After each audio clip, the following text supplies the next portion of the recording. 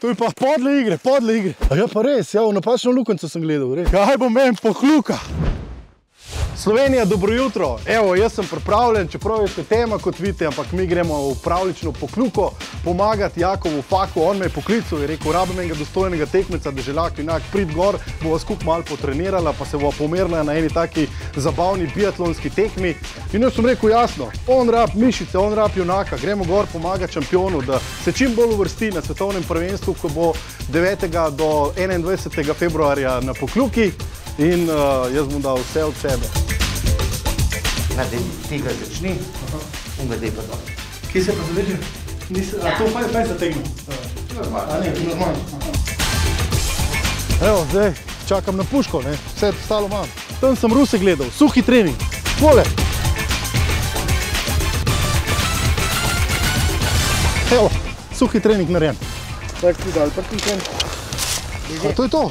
Aha. Preveč ledena proga je. No.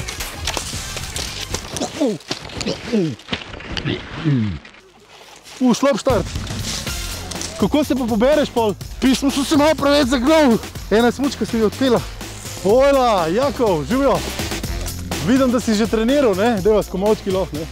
Ja, najprej bi rekel hvala, da si me povabil. Hvala tebi, da si prišel. Ja, seveda, vedno rabim te prav sparing, tako da... A smo kar začeti, ali kaj? Dajmo, dajmo. Ja, kako si, jaz pripravljen? Ja, jaz sem že zadihal, sem že mal uh, probil ta, to klasiko, ne? ker sem rekel, skate ne bom, bom klasiko. Tak štartaš, prav? Ok, kam pa štartam, v katero smer? Tečete tri kroge po kilometr, Okej. Miha ti streljaš leže, Jakov ti streljaš stoje, tri, štiri, štart.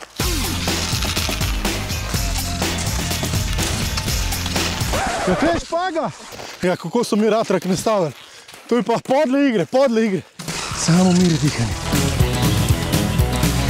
Kje ste navijači? Hej!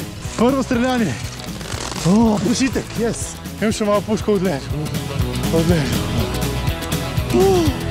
Zdaj pa kar dej, repetiraj. Pa naprej. Glej, glej, tlele skozi, glej. Se gledam, ja. Ne, ne. A ja? A ja, pa res, ja, v napačno lukenco sem gledal, res. Bravo, zadev. Wow! Yes!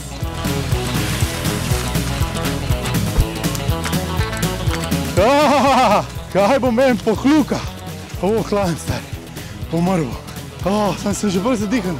Oh, na kolena, yes! Oh. Hajde roka, hajde roka, hajde puška. Mua! Ne mer začara, da nam teh počepno spet deli. Ra, je, padla. Uhuhu. Oh, shit. Noč kaj? Počepi. Devet. Dva. O ne. Uh. Ajde smuk. Smuk. Oh. Uh. Uh. Yeah. Uh. Uh. Oh my god, zmagal sem. Uh. Oh, je! Zmagal sem, stari. Oh, fuck. Oh, fuck, zmagal. Dajmo pustiti želaku veselje. Jaz mislim, da on sploh ne ve, da je Jakov fakt že tri kroge naprej, pred njem. Oj, ko pa to, ko sem zmagal, o?